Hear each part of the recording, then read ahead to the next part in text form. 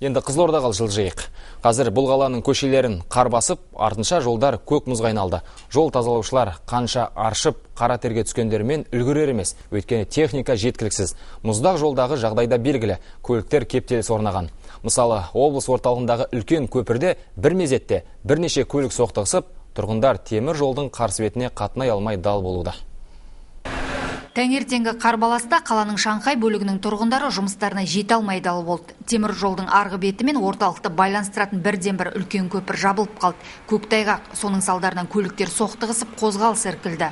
көк көк мұз машинаның бәрі тұр автобус жүре алмайды таксилер босады анау газельдер жүре алмайды тұрмыз сонымен халық азап шегіп жүр содан Жол сақшылары қазір күшейтілген режимде жұмыс жасап жүр.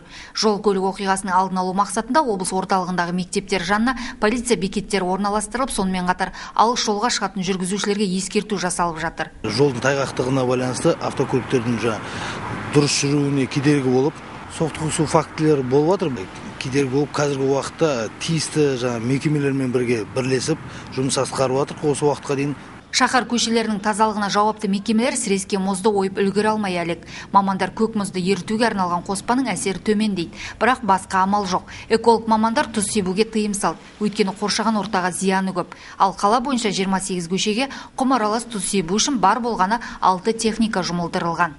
біз енді осы алты техника арнайы техникамен жұмыс жасаймыз ғой бірақ енді тағы да техникалар жеткіліксіз Атқарушы билік проблеманы шешуге тырысуда, бірақ мәселенің қашан реттелері нақты белгісіз. Ал мұз ойып қар аршитындар әзірге қолда бар техникаға телміріп тұр. Қызылорда облысынан Ақерке Берікбекқызы, Нұрлыбек Нұрмахан, Қазақстан ұлттық телеарнасы.